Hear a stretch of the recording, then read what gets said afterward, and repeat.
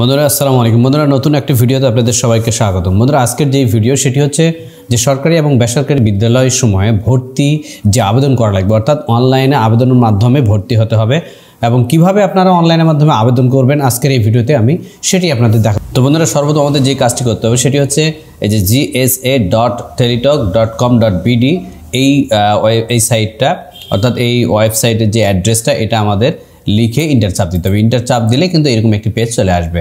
এখন এটি হচ্ছে, আপনি কি শিক্ষা প্রতিষ্ঠান নাকি ভর্তিচ্ছ শিক্ষার্থী? অর্থাৎ যেহেতু আজকে আমি দেখাবো যে কীভাবে আপনি ভর্তি হবেন, সেহেতু প্রথমেই দিতে হবে ভর্তিচ্ছ শিক্ষার্থী। এখানে দেওয়ার পর আপনি দেবেন সরকারি শিক্ষা প্রতিষ্ঠান নাকি বেসরকারি শিক্ষা প্রতিষ্ঠান? তো আমি দেখাবো আজকে বেসরকারি প্রতিষ্ঠানে। অর্থাৎ বেসরকারি শিক্ষা প্রতিষ্ঠানে আপনি ক্লিক করবেন। বেসরকারি শিক্ষা প্রতিষ্ঠানে ক্লিক করলে দেখুন এই জায়গায় চলে আসবে যে বেসরকারি বিদ্যালয়ে ভর্তির আবেদনটা। অর্থাৎ ঠিক এগুলো আপনাকে পূরণ করতে হবে। সমস্ত তথ্য অবশ্যই ইংরেজিতে পূরণ করতে হবে এবং লাল তারকা চিহ্ন তথ্যগুলো অবশ্যই প্রদান করতে হবে। তার মানে এখানে নাম দেখতে পাচ্ছি। অবশ্যই এটি ইংরেজিতে নামটি লিখতে হবে। এবং এই জায়গায় দেখুন জন্ম তারিখ।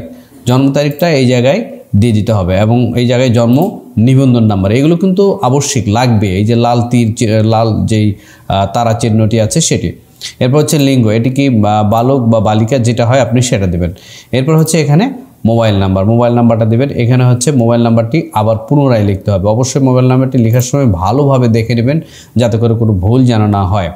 এরপর হচ্ছে পিতার নাম এবং পিতার এনআইডি এগুলো কিন্তু বাধ্যতামূলক এবং মাতার নাম, মাতার এনআইডি এরপর হচ্ছে অভিভাবকের নাম এবং অভিভাবকের এনআইডি এটি কিন্তু আপনি যদি না দেন, তাহলে কিন্তু হবে। এটি কিন্তু বাধ্যবাধকতা নেই। অপশনাল। এরপর হচ্ছে শ্রেণি। আপনি কোন শ্রেণীতে ভর্তি হতে চান ধরে নিন যে আপনি ষষ্ঠ শ্রেণীতে ভর্তি করাতে চান বা আপনি ভর্তি হতে চান। সেক্ষেত্রে এখানে শ্রে- শ্রেণি লিখতে হবে। এরপর হচ্ছে যে পূর্ববর্তী স্কুলের নাম। অর্থাৎ আপনি এর আগে, বর্তমানে আপনি ক্লাস ফাইভে যেই স্কুলে ছিলেন, সেই স্কুলের নাম এখানে দিতে হবে। আপনি যেই ক্লাসে ভর্তি হবেন, তার আগে, অর্থাৎ আপনি যদি এইটে ভর্তি হন, তাহলে আপনি যদি এখানে এইট দেন এইটে ভর্তি হবেন, তাহলে আপনি ক্লাস সেভেনে যেই জায়গায় পড়ছিলেন, সেই যেই নামটা, সেইটা এখানে আপনাকে দিতে হবে, সেই স্কুলের নাম। এবং এখানে পূর্ববর্তী শ্রেণি, অর্থাৎ কোন শ্রেণীতে আপনি ছিলেন। ধরে নেন যে আপনি পঞ্চম শ্রেণীতে ছিলেন, যেহেতু আপনি ষষ্ঠ শ্রেণীতে ভর্তিটা দেখাচ্ছে। এরপর হচ্ছে বর্তমান ঠিকানা। বর্তমান ঠিকানা বলছে এখানে জেলা এবং থানা লেখার প্রয়োজন নাই, কারণ এই জায়গায় যেহেতু জেলা এবং বিভাগ এবং থানা আলাদা আছে, সেই জন্য এই জায়গায় ওটা লেখার দরকার নাই। আপনার যেই জায়গায় হয়, আপনি সেই বিভাগ দিবেন, এখানে আপনার যে জেলা হবে সেই জেলা দিবেন এবং যেই থানা হবে সেই থানা দিবেন। এইভাবে কিন্তু আপনি করবেন। এরপরে দেখুন এগুলো কিন্তু আপনি নওগাঁ সদর ছাড়া অন্য অন্যটাতে কিন্তু আপনি করতে পারবেন না নওগাঁ জেলায়, যেমন নওগাঁ সদর। এরপর হচ্ছে পোস্ট কোড আপনি দিয়ে দিবেন।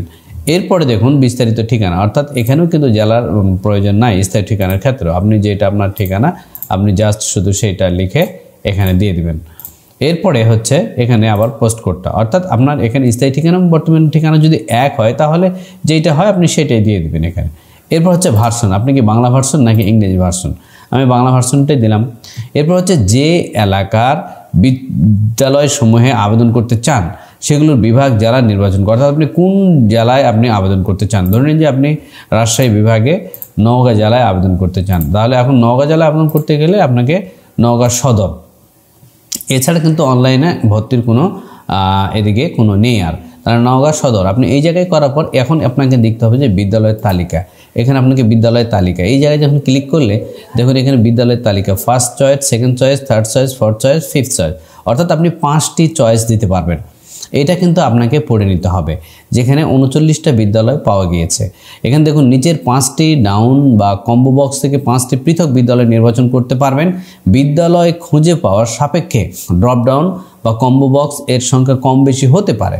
ফার্স্ট চয়েসে নির্ধারিত বিদ্যালয়টি আপনার প্রথম পছন্দ হিসাবে এবং ফিফথ চয়েস এই নির্বাচিত বিদ্যালয়টি আপনার সর্বশেষ পছন্দ হিসেবে বিবেচিত হবে।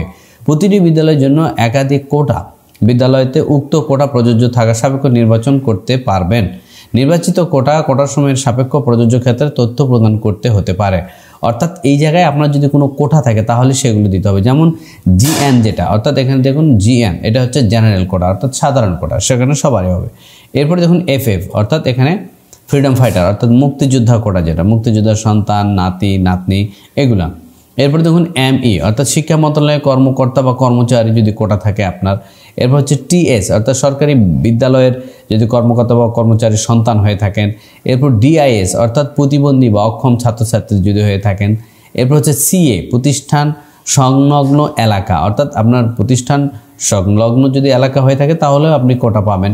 এরপরে হচ্ছে যেমন জিবি, এই যে জিবি, অর্থাৎ জিবি গণভবনের কর্মকর্তা কর্মচারীর সন্তান, এরপর হচ্ছে গভ, অর্থাৎ সরকারি প্রাথমিক বিদ্যালয়ের ছাত্রছাত্রীর সন্তান, এরপর এসআইবি, অর্থাৎ ভাই, বোন, এরপর হচ্ছে এ এজিবি, অর্থাৎ এজিবি কলোনি কোঠা এবং এলবি হচ্ছে লিল্লা বা বোর্ডিং এ অবস্থানরত শিক্ষার্থী।